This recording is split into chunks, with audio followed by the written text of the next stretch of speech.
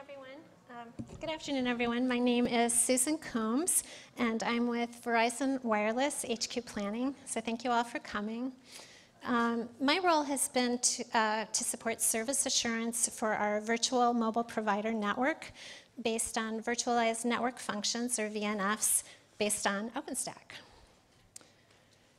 So our leading the way with our VNFs has been supported by the highest level of you know, at the highest level of the company. Um, Lowell McAdam is our CEO. So we're def we definitely have support for our work on VNFs and OpenStack. And many of you are most likely already familiar with Verizon. Maybe you even already have our service. But you may not know that LTE covers 98% of the US population. And our global IP network covers 99% of Fortune 500 customers.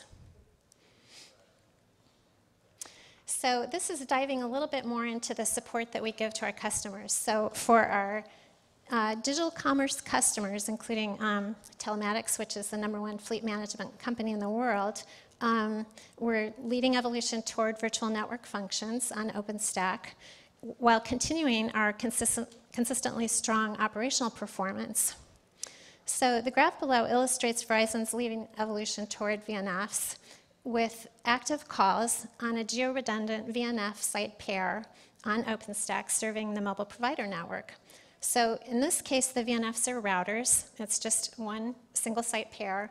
Um, and these are active calls, and they are on our production network. Um, we're very proud of supporting our production network on our virtual mobile provider network that just started this year. So this is from the past month showing, showing our support for over 50K or around 50K active calls peak each day.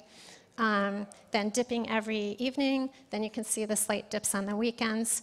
And what's also interesting about this particular graph is um, that it shows the transition from one VNF to the other. So this supports our very reliable service that we offer to our customers. Okay, now, all of this network activity generates a lot of logs, and what I wanted to also say is for our service assurance, we have many different methods of gathering data.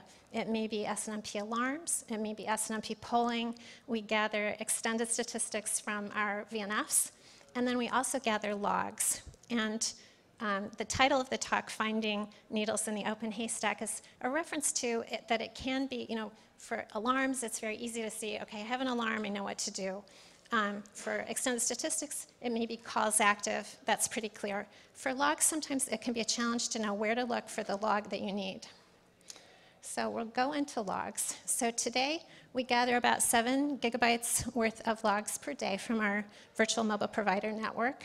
Um, so this is the entire you know, set of logs that we gather. And then we can go into detail and look at individual logs as well and search for them or we can split it out. Here I'm splitting out just OpenStack logs or specific OpenStack services, whether it's Cinder or Ironic or whatever OpenStack service may be of interest that you'd like to look at logs for. And we can, here again, we can go in and look at the text representation of logs as well. Okay, so this is interesting. Um, going down even into more detail, what logs are created by specific actions? So just as a small lab project, um, I did a couple of tests um, to see what we can see in the logs from specific actions. So, um, for example, we may want to create a test project. So here I'm just creating a Summit test tenant, okay?